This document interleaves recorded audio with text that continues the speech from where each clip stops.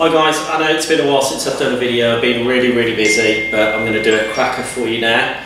Um, it's going to be um, braised ox cheek and I did have this last week and it was fantastic so I thought it has to be done, I have to show you how to cook that one. Um, it's a delicious piece of meat, you probably see that there.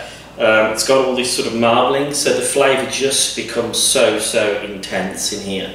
Um, I'm just going to switch this on because I've got to get that nice and hot to brown that off.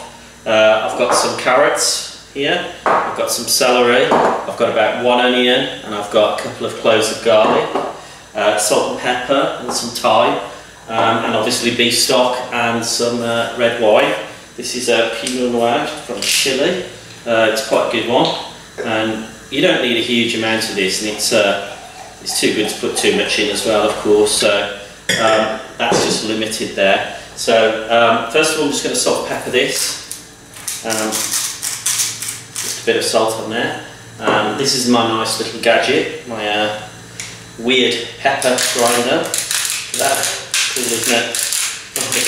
okay.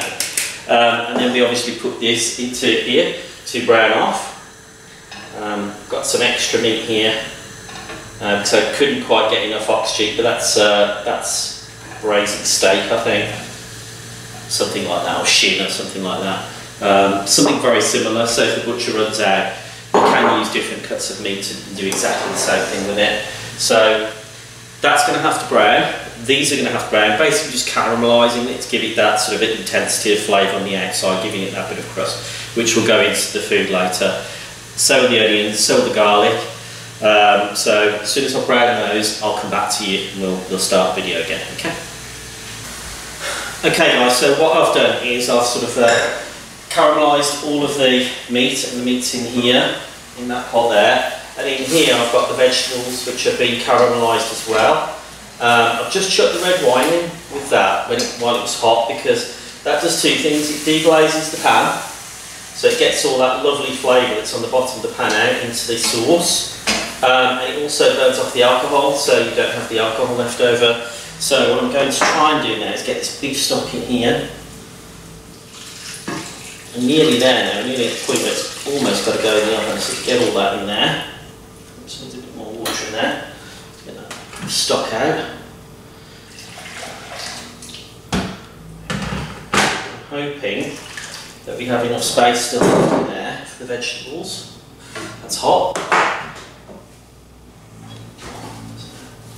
If not, I might have to try with this pan, which should be okay, but foiling this one might be tricky. I don't know that that one isn't so bad. So let's get these veggies in.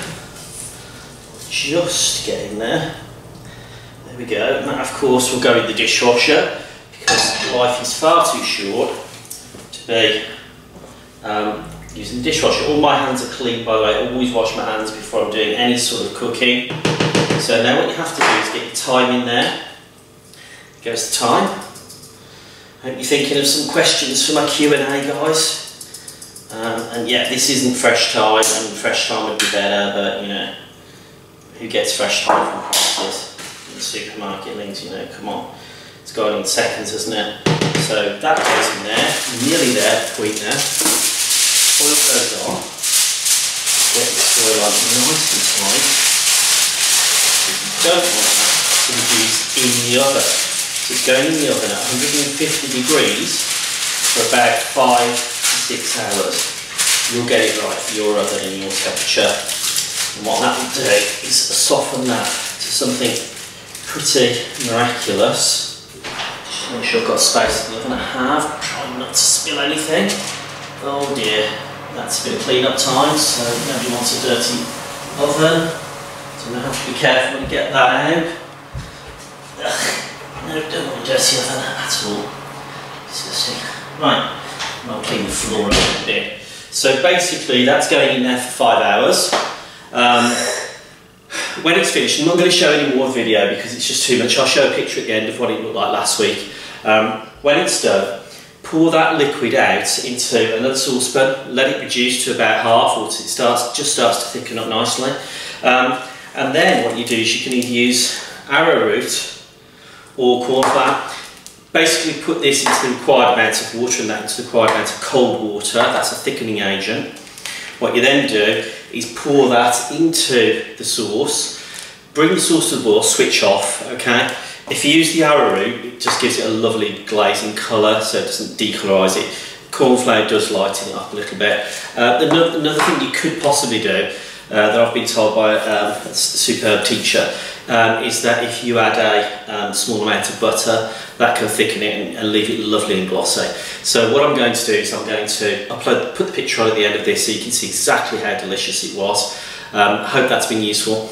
If you like it, you want to see more of these videos, subscribe, share with your friends down below. That way. Thank you very much. Thanks. Bye.